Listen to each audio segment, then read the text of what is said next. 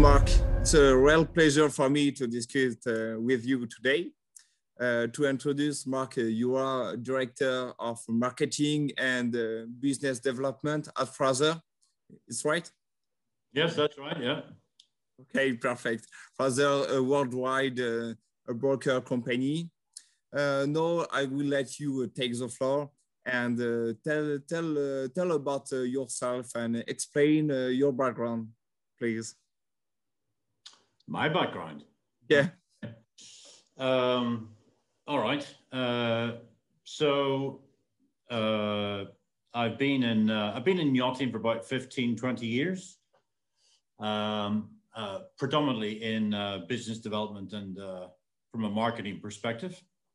I started off my career as a, a, a commercial lawyer in London. That didn't last very long. I realized I didn't enjoy that so much. Um, and then uh, spent most of my career uh, in sales and in marketing. So uh, I've got probably about 30 years or more, which makes me sound very old, but uh, 30 years or more of uh, a career based in sales and marketing, and the last 15, 20 years in yachting. Okay, thank you. Very interesting. Uh, now you can introduce our father and speak about all his activities. So Fraser is uh, one of the longest standing full service brokerage houses in the world today, if not the longest standing. Uh, it was established back in 1947 by uh, a man by the name of David L. Fraser. Um, it's a worldwide opera operation. Um, it's got offices, its core offices are in, uh, in one in Monaco and uh, the other in uh, in uh, Fort Lauderdale in Florida. And we have um, 16, 17 offices elsewhere around the world in the key yachting hubs, I guess. Um, as a full service brokerage house, it, um, it offers uh, all services that you could require uh, as an owner. So we buy and sell boats for our clients. We build boats for clients. We can uh, refit yachts for clients. We provide charter management services charter retail services, cruise services, uh, yacht management services, and everything in between. Okay, it's a very nice uh, company for Monaco. Um, the brokerage industry have been uh, very impacted by the, uh, the pandemic. Uh, so how, um, how has Fraser been able to evolve in order um, to continue his business um, I don't know, maybe uh, organize a virtual appointment or virtual visit? Yeah, so um, I mean, obviously, we've all been talking a lot about the current situation with COVID.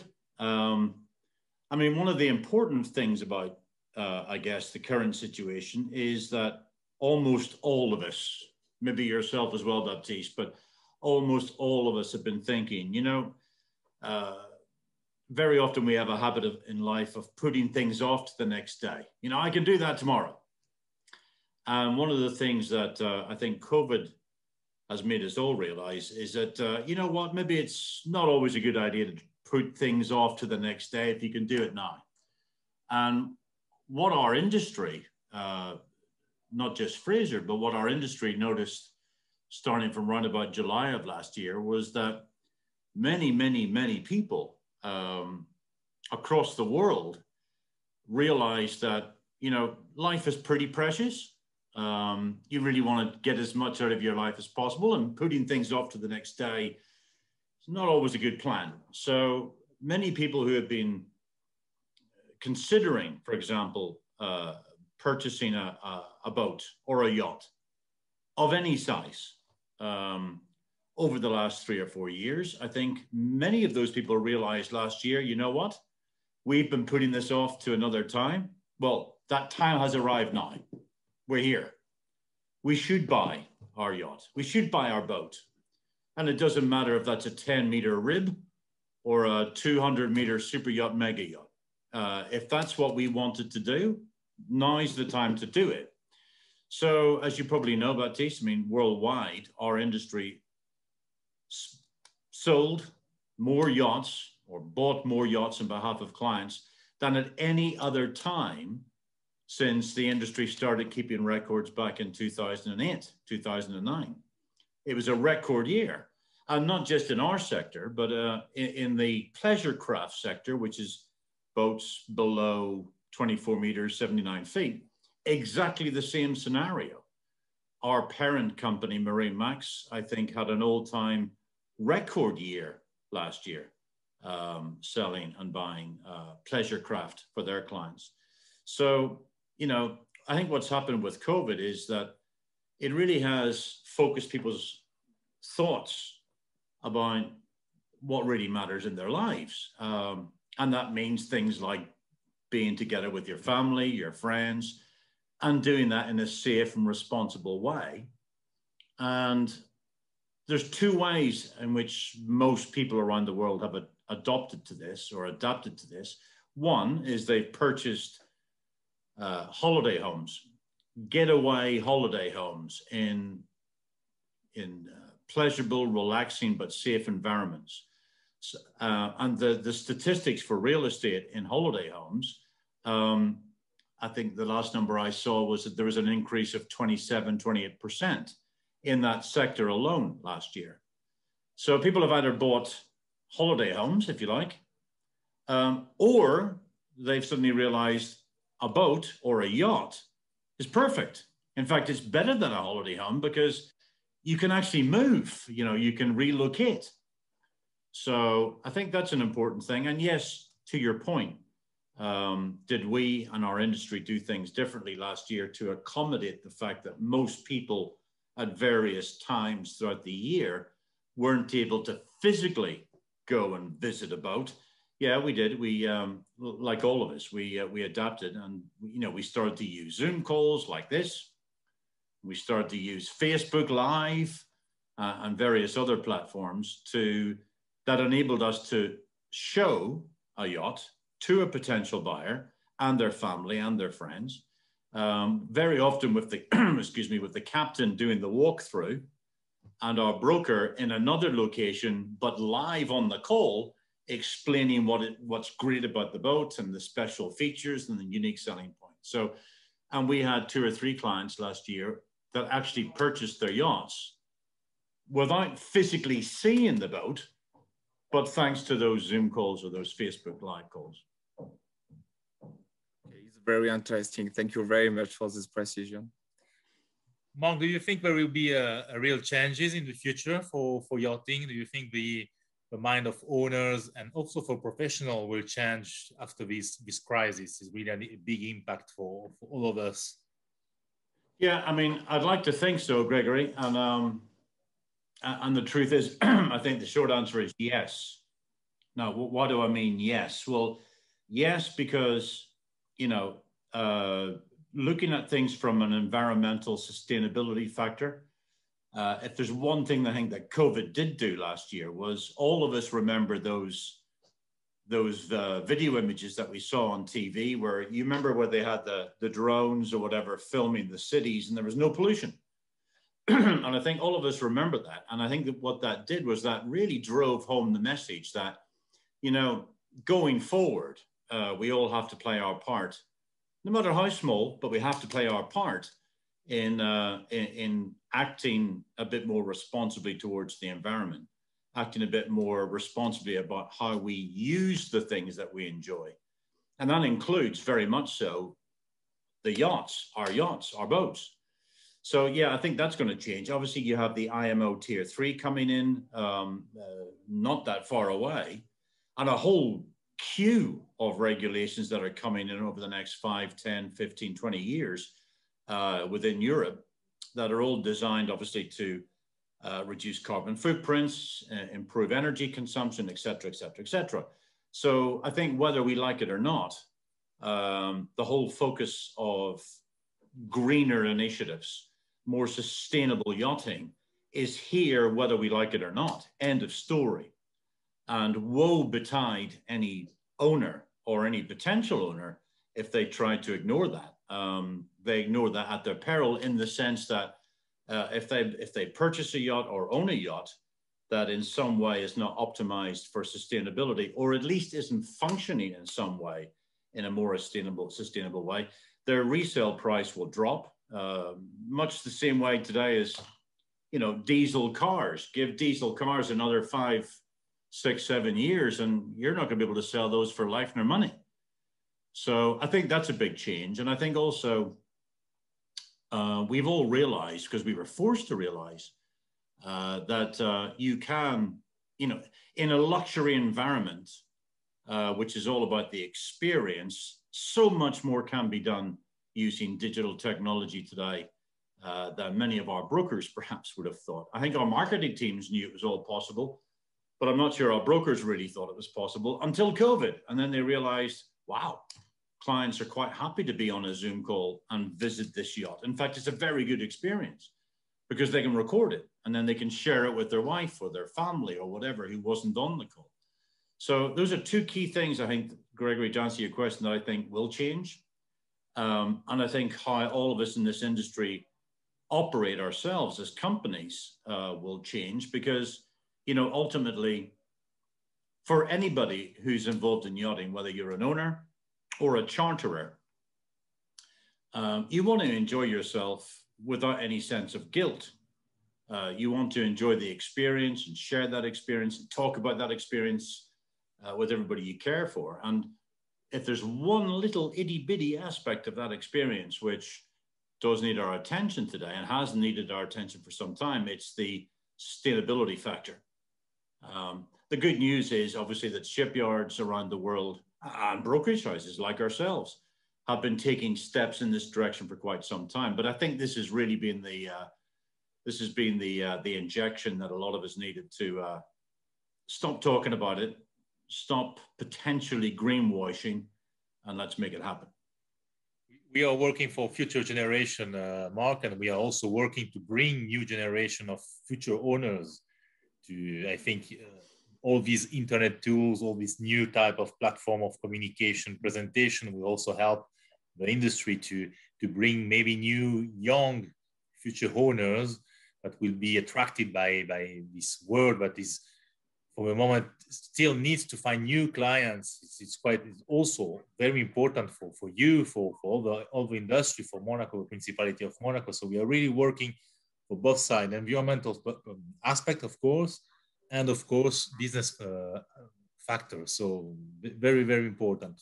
Thank you, Mark. Thank you. Mm-hmm. Yes, I agree with you. It's a, I think it's a very good opportunity for the industry. I mean, it, it's an opportunity, but it's also it's something that has to be done. You know, there's no two ways about it. Um, and for those, you know, for those who may be watching this who uh, you know, there are still some people who believe this is all about tree hugging, tree hugging, you know, it's, uh, there are some people who don't necessarily follow the notion that climate change is a real thing.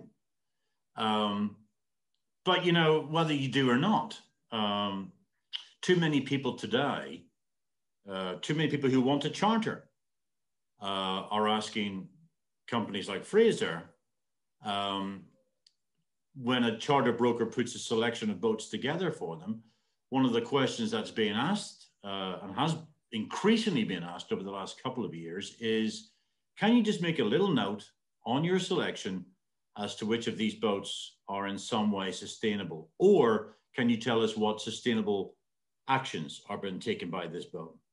Um, and that's important for them um, because once they enjoy the, the experience on board the yacht, and then they come and talk about it with their friends and their family afterwards, it's always nice to be able to say, oh, um, we carbon offset our, our, uh, our fuel or our activity there. That, that's a worst case scenario, a worst best case scenario, if you like. Um, but it's also nice for them to say, oh, but also the crew, there was no single use plastics. Uh, the crew had a superb um, program in terms of energy consumption that we took part in. Um, we did some beach cleans. I mean, we had some clients uh, a few months back who uh, the uh, the crew said to them, "Do you want to take part in a in an ocean clean?" And uh, the kids got really excited. It was like, "What's this? What's this?" And uh, off they went. And this was inspired by the chief stewardess. Off they went for a, an hour and a half, two hours, um, and cleaned up the waters around around the uh, the area where they were, and they loved it. and the chief, she was quite quite amazing because she was able to explain how the the plastics got there and, and what was happening and all of that sort of stuff. We have some owners, for example, who have programs on board where they um, track anytime they see any pollution, for example, they photograph it, they send it back to uh, a head office in uh, in the states, and uh, and that helps report where various pieces of pollution are, so they can get cleaning operations to it. So you know, there's lots of good stuff that you can integrate there that becomes part of the experience. But yeah, I mean, th- that is the way we're going, and it's the way we should go. Okay, good. Thank you very much. Uh, now, for speak uh, quickly about uh, the Principality of Monaco. Uh, what is your vision about the Principality as the world yachting capital? What is your opinion about this? And for you, what is the important areas to focus on and keep this uh, leading position? Well, I mean, it must be said that um, you know uh, Monaco is the the capital of yachting. Mm-hmm. Um, uh, it, it, it's just that in the sense that there's, I don't think there's ever been a time when I've uh, spoken to a client or a potential client who, um, you know, for whom Monaco, coming to Monaco, being in Monaco wasn't very, very near the top of their agenda when they came anywhere near this region. Um, not only for the first time, but uh, consistently when they come here. I mean, Monaco an, offers an important experience for anybody who comes here. The facilities for uh, the yachts are unparalleled, obviously and that's good. Um, and with the new developments down in um, over in Italy, that's uh, it's going to extend that experience uh, and that ability to, to do even more. So, I mean, Monaco has always been very important. I mean, it's a, it's an area that every time we would do a survey of our clients about where they may want to charter or where they may want to be in their yacht, Monaco is always right up there. Um, and as I say, not just for the first time, but as a recurring thing um, having access to the type and the quality of hotels and spa and well-being centers and restaurants and and everything else that's here, including of course the casino, is all is all excellent. I think um, I think there's a lot of work to do though uh, in terms of the marketing communication message because you know I still find there's a lot of a lot of our clients who love and adore the the, the principality, but um, who really only have 60% understanding of really what Monaco can offer today. They still have this sort of old fashioned 1950s, 60s, 70s idea of what Monaco is. And of course, Monaco's been doing a huge amount of uh, uh, upgrading and, and, and uh, pioneering in a number of areas uh, over the last 20 or so years that um, a lot of these a lot of these clients aren't aren't really properly aware of yet. Um, so I think this, and this is good. You know, there's some really good work in terms of communication to do. I think the, um, the, the principality's natural adhesion and promotion of all things sustainable is important. And I think that's really, it's especially important given what we've just been talking about. Um, because there's a number of times when owners, captains, and crew will frequently complain about the fact that they want to, be, to do things that are more sustainable, but when they get to a marina, half the facilities that they need aren't there um, for all sorts of services. So the fact that uh, you know Monaco does have, uh, if not all, pretty much all of those services, I think is very important, and it's a very important point to communicate on. And I think also the fact, you know, there's the yacht club, uh, there's all the infrastructure you could ever need, from concierge through to all the facilities we mentioned earlier, they're all here. Um, and they've all been here for a long time. So the principality genuinely knows how to support a client, an owner, a charterer when they're here and when they arrive by yacht. So, you know, all of those things put together, I think really do make the principality a, a leading light and deservedly, deservedly able to carry that, uh, that slogan, the capital of yachting. Okay, thank you very much for your time. Thank you very much for your presentation. And uh, we hope to see you soon, uh, maybe in better in better condition. I hope so, Mark. Yeah. I really hope so. Mm. To see you oh, soon. We, we will. We will. But you know what you're doing here is great. Uh, what the cluster does, I think, is is uh, is uh, important in our industry and elsewhere. And uh, you know, like I say, if listen, if you can sell a a yacht that's worth uh, 60, 70 million euros on a Zoom call, think of all the other great stuff you can do in a Zoom call, huh? Really, totally, totally agree with you. And you are, you are one of the biggest company of, of yachting in Monaco, or maybe the, the biggest. So it's quite important for Principality to have such a company as Fraser uh, mm. inside its, its small territory, but big territory in the same time. so very, very important. So thanks for, mm. for you. That's and, right. I mean, Gregory, you know the deal as well as anybody does. I mean, um, a small principality, two kilometers wide or whatever it is. But, um, you know, the principality has all the major players, bar bar a few, but not many, uh, are all based here, all have offices here. In the case of Fraser, our head office, I mean, our head office for the world is here. In fact, we have two of them here, you know, um, and the other major players in our industry uh, are colleagues, but also competitors, I guess um, also have their, their, their, maybe not their headquarters, but they have major offices, a major presence in Monaco. But we're very proud to have our, our worldwide headquarters here. We're proud of the Principality. We support the Principality. Where we work well with the Principality, the Yacht Club, you know, you guys, etc., etc. So, you know, one of the advantages of having a, a smaller place like this is it's easier to get things done quicker than if you're in a bigger country and you're playing a big role in Principality also on training for, for young talent. You're, you're recruiting uh, mm. a lot of people, a lot of young people. You're working with the IUM, you're working with, with a cluster for training new people uh, that don't, don't really know or we're trying to know more about yachting. So it's quite important what you what you're doing on this side too. So thank you, thank you again, Mark, for, for your time and, and really for your your speech is quite important to have your point of view on, on our small interview mm. formats. And, uh, and as Baptiste said, I, I, really hope to see you soon uh, uh, within one of one of our future meetings inside of the cluster again. My pleasure. You and uh, well done, guys, and keep the good work. Thank you, Mark. Thank you. Bye. Alrighty, guys. Bye.